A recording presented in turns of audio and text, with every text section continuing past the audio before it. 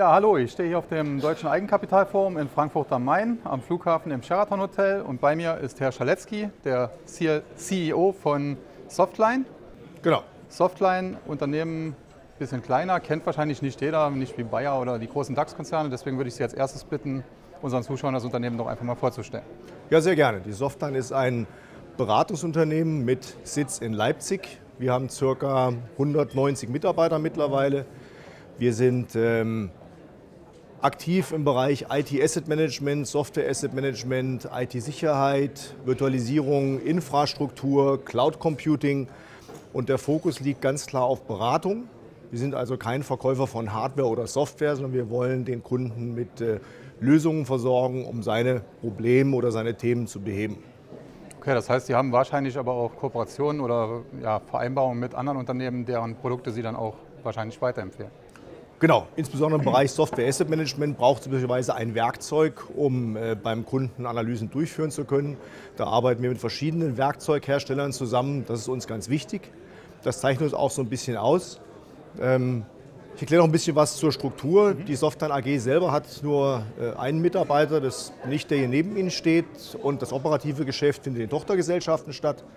Wir haben eine Tochterfirma in Leipzig mit knapp über 100 Mitarbeitern wo wir komplett das ganze Softline-Portfolio anbieten, also alle Beratungsleistungen, die wir im Konzern haben. Dann haben wir eine Tochterfirma in München, die sich mit dem Thema Managed Field Services auseinandersetzt und Recruiting. Das heißt, wir äh, rekrutieren IT-Spezialisten für unsere eigenen Projekte oder für Kunden. Und wir unterstützen ähm, große IT-Firmen bei zum Beispiel äh, dem, Rollout von, von, neuen Geräten, von Druckern bei der Wartung. Wir machen den First-Level-Support, das heißt, wir heben den Telefonhörer ab, wenn von einer großen Versicherung der Mitarbeiter ein PC-Problem hat und wir schicken dann Techniker los im Namen der Versicherung. Dann haben wir noch eine Gesellschaft in Benelux mit 30 Mitarbeitern, die machen nur Software Asset Management und eine weitere kleine Tochter in Frankreich, die Software vertrieben hat. Jetzt haben Sie eigentlich schon was angesprochen, was wir in den letzten Tagen hier sehr äh ja, sehr viel erzählt bekommen haben von Unternehmen aus der Technologiebranche, nämlich dass sie Probleme haben, Mitarbeiter zu finden. Jetzt sagen Sie, Sie sind im Bereich Recruiting aktiv, da müsste das Geschäft ja boomen. Das stimmt. Also wenn wir über Bereich, den Bereich Recruiting sprechen, reden wir über IT-Spezialisten. Das sind äh, Menschen, die üblicherweise keine Festanstellung wollen und sehr spezialisiert sind in ihrem Fachgebiet. Das können Datenbankspezialisten sein, das können Projektspezialisten sein, das können Spezialisten sein, die mit bestimmter Software unterwegs sind. Und wir schließen Lücken bei unseren Kunden oder in unseren Projekten, wenn die für ein Spezialthema für zwei, drei, vier Monate jemanden brauchen. Für unsere eigenen äh, Bedarf nutzen wir das Recruiting auch gelegentlich, insbesondere wenn wir da Spezialisten brauchen, die wir fest an Bord holen wollen. Aber wenn wir über Recruiting sprechen für unsere eigene Mannschaft, dann fangen wir eigentlich ganz, ganz vorne an.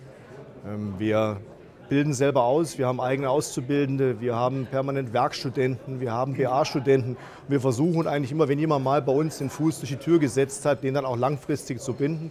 Und das klappt eigentlich auch, dass wir die Absolventen, wenn sie mit dem Studium fertig sind, dann auch zu uns an Bord holen. Da sind wir eigentlich am erfolgreichsten mit der Mitarbeiterrekrutierung. Okay, das hört sich ja ganz gut an, zumal Sie ja, wie Sie sagen, in Leipzig sitzen, also im Osten Deutschlands, wo es ja immer heißt, dass da ja, viele nach der Wende auch weggegangen sind. Und äh, wenn Sie jetzt da die Mitarbeiter ja, finden, spricht das ja dafür, dass vielleicht dann doch da auch wieder vorangeht und es da zum Aufschwung, Aufschwung kommt. Genau, also Leipzig ist für uns ein, ein riesen. Leipzig hat unheimlich viel Lebensqualität zu bieten. Ich muss sagen, ich bin selber kein Leipziger, ich wohne noch in, in Bayern. Wir suchen aber Wohnraum in Leipzig. Aber für unsere Mitarbeiter, die in Leipzig arbeiten, da wohnen auch die meisten in Leipzig, da muss keiner reinpendeln. Das heißt, die, die Infrastruktur ist sehr gut. Von den Münchner Kollegen wohnt nicht einer in München, weil sie das nicht leisten können. Leipzig mit 600.000 Einwohnern bietet unheimlich viel Kultur, viel Sport, viel, viel Möglichkeiten zum Weggehen, hat ein relativ geringes äh, Lebenshaltungskostenniveau. Das heißt, wir können Mitarbeiter von außerhalb ähm, Leipzig sehr gut nach Leipzig holen, weil sie für weniger Geld deutlich besseres Leben bekommen können, als wenn sie in Düsseldorf oder Hamburg oder Frankfurt anfangen. Okay, kommen wir mal zurück zu Ihrem Unternehmen. Äh, ja, Sie sind ja in einer Branche aktiv, da haben Sie ja mit Sicherheit auch Wettbewerber. Wie sehen, wen würden Sie da als erstes sehen? Vielleicht im deutschen oder europäischen Markt und vielleicht auch im Ausland? Sehr gerne. Das hängt ein bisschen von dem äh, Geschäftsbereich ab, über den wir reden. Wenn wir über das Thema Software Asset Management sprechen, gibt es eine Handvoll Bewerber, die mir immer wieder begegnen. Das sind zum einen die großen Unternehmensberatungen selber. Wir spüren eine KPMG, wir spüren eine Deloitte, die in einem ähnlichen Markt unterwegs sind. Die Unternehmen nicht nur beraten bei Restrukturierung, sondern eben dann auch in diesem Detail, was für Software ist denn an Bord, was benötigen wir, wie wollen wir das verwenden. Ähm, wir haben als, als Wettbewerber eine Comparex, ein sehr großes Unternehmen mit 4000 Mitarbeitern, die im Bereich Softwarevertrieb und äh, IT-Beratung unterwegs sind. Im Bereich Managed Services, den Bereich unserer Münchner Gesellschaft abdeckt, sind wir Wettbewerb mit den anderen großen wie eine Cancom, eine Bechtle oder eine Computer Center, die auch mit vielen, vielen Mitarbeitern für uns als kleine Softline schon herausfordernd sind. Okay, das sind alles bekannte Unternehmen, also Cancom beispielsweise. Genau. Eigentlich jeder.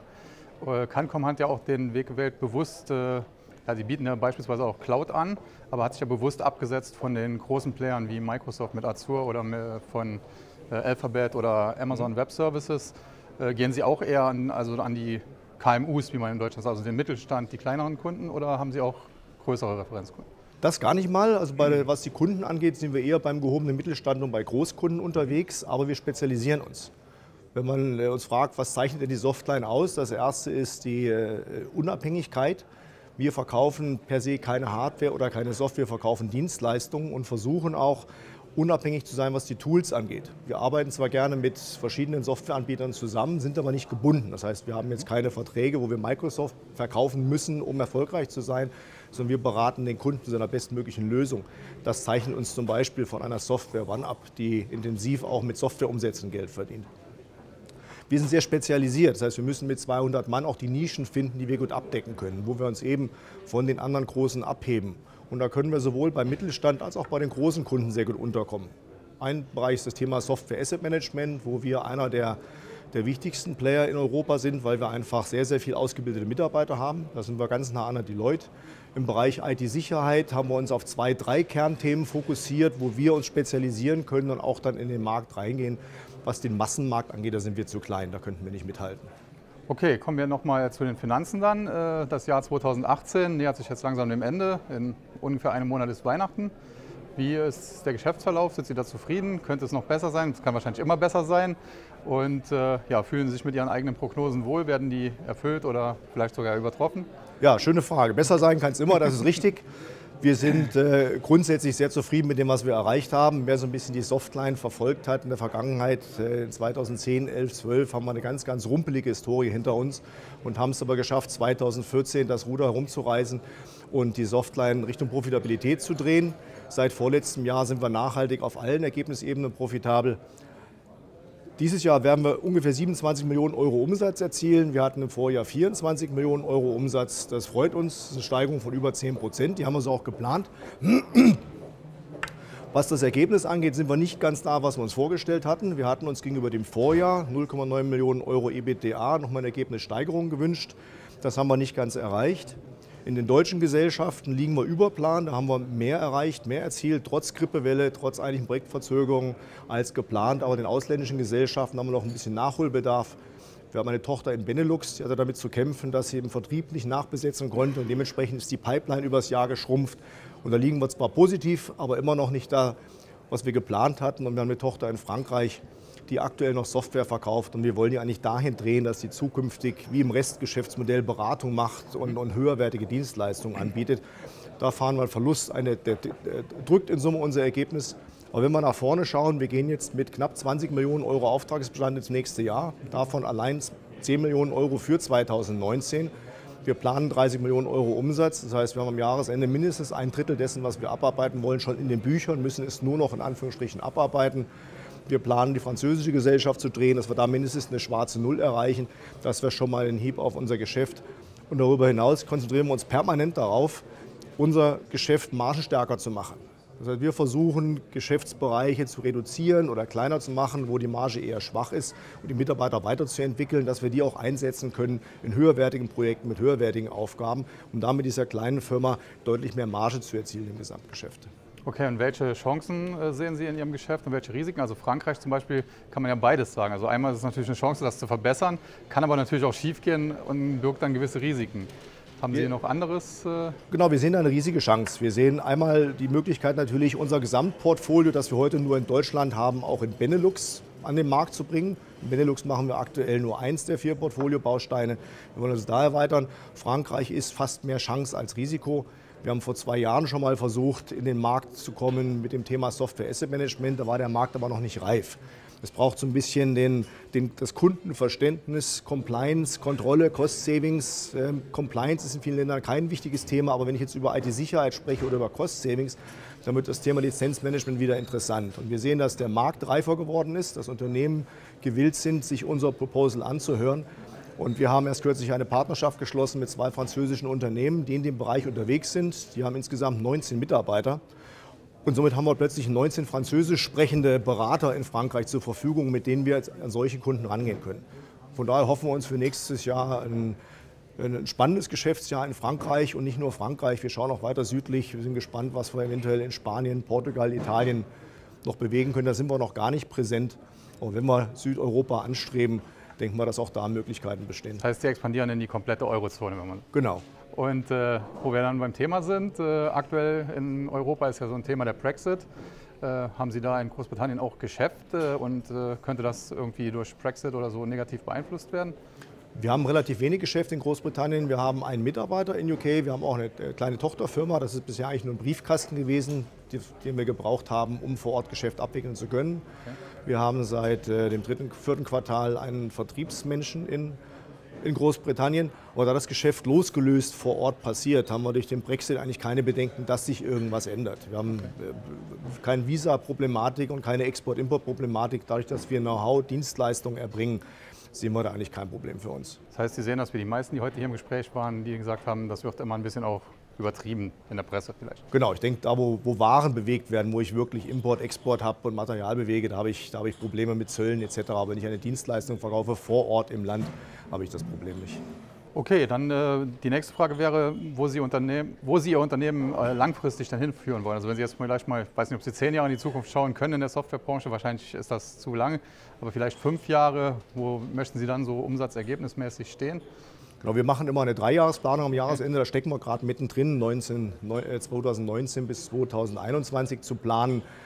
Und äh, dann haben wir so eine Fünfjahres-Idee, ähm, was wir gerne erreichen wollen. Wir haben uns als Ziel gesetzt, Europas größter unabhängiger IT-Asset-Management-Dienstleister zu werden. Unabhängig, dadurch grenzen wir uns ein bisschen von den ganz Großen ab, die vierstellige Mitarbeiterzahlen haben. Äh, da, da kommen wir nicht hin, aber wir denken über äh, den Ausbau unseres Software Asset Management, IT Asset Management Geschäfts durch Anwerben neuer Mitarbeiter, durch Ausbau in andere Länder hier recht schnell Fuß zu fassen. Unser Umsatzziel, da haben wir mal eine Zahl in den Raum geworfen, 50 Millionen wäre mal so, ein Ziel, das wir anstreben, was natürlich dann in einem drei- oder fünf Jahres Zeitraum mit rein organischem Wachstum nicht mehr zu handeln wäre. Okay, das heißt, Sie denken auch an Übernahme. Ja, wenn wir, wenn wir heute über organisches Wachstum sprechen, dann planen wir nächstes Jahr ca. 30 Millionen Euro und im Jahr darauf 35. Und äh, unsere Vorstellung wäre, eventuell jemanden zu finden, der zu uns passt von der Mentalität. Wir sind ein ganz junges, dynamisches Unternehmen. Wir haben unheimlich tolle Firmenkultur. Das heißt, wir brauchen auch jemanden, der dynamisch ist, wo die Mitarbeiter gut miteinander funktionieren. Und äh, wir könnten uns vorstellen, wenn jemand äh, mit 50, 100 Mitarbeitern, 10, 15 Millionen Euro Umsatz in einem ähnlichen Bereich, in dem wir unterwegs sind, vielleicht nicht genau die gleichen, aber komplementär, dass wir unser Portfolio horizontal oder vertikal erweitern können, da uns auch zu erweitern. Aber da sind wir noch ganz am Anfang zu überlegen, was denn zu uns passen könnte, was wir brauchen. Und äh, da werden wir Das heißt, Sie haben Zeit keine konkreten Übernahmeziele? Nein, keine konkreten Übernahmen. Okay. Ja, zum Schluss dann vielleicht noch ein Wort zur Aktie. Das ist ja ein äh, Smallcap-Nebenwert, den vielleicht noch nicht jeder kennt. Ist ja auch das Ziel, dass das äh, sich hier ein bisschen ändert, sowohl Eigenkapitalforum ja. insgesamt als auch hier das Interview. Äh, ja, wie würden Sie das äh, sehen äh, mit der Aktie? Könnte die eines Tages vielleicht auch mal eine Option sein, in den TechDAX zu kommen oder ist das zu weit weg, weil Sie dafür noch zu klein sind?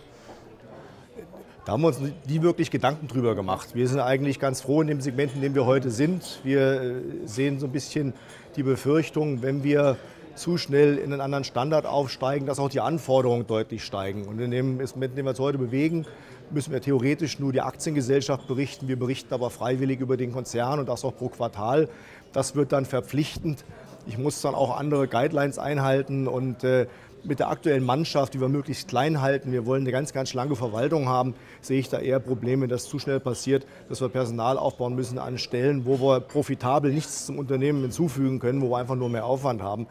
Ich denke, über so Veranstaltungen wie hier, über persönliche Ansprache von Investoren haben wir genug Präsenz am Markt. Man kennt die Softline, zumal wir 30 Jahre alt sind. Die Softline gibt es schon 30 Jahre als Aktiengesellschaft, wobei es in 2010 den Neustart gab der heutigen Softline, die jetzt hier vor Ihnen steht. Und da fühlen wir uns ganz wohl und da denken wir gar nicht darüber nach, ob wir in den anderen Index aufsteigen. Okay, aber Sie haben strategische Investoren auch drin, die auch zum Unternehmen stehen oder genau. suchen, suchen, vielleicht auch noch welche hier auf dem Eigenkapitalforum? Sowohl als auch, genau. Wenn wir darüber nachdenken, dass ja mal eine kleine Akquisition vor der Tür stehen könnte, wo vielleicht eine Firma mit 10, 15, 20 Mitarbeitern meint, sie würden zu uns passen oder wir meinen das, dann müssen wir auf jeden Fall äh, uns mit Kandidaten unterhalten, die gewillt wären, uns zu unterstützen bei so einer Akquisition. Okay, ja, dann wünsche ich Ihnen auf der Akquise nach Investoren hier auf dem Eigenkapitalforum noch viel Erfolg. Und ja, entlasse ich Sie zu Ihren Gesprächen. Dankeschön.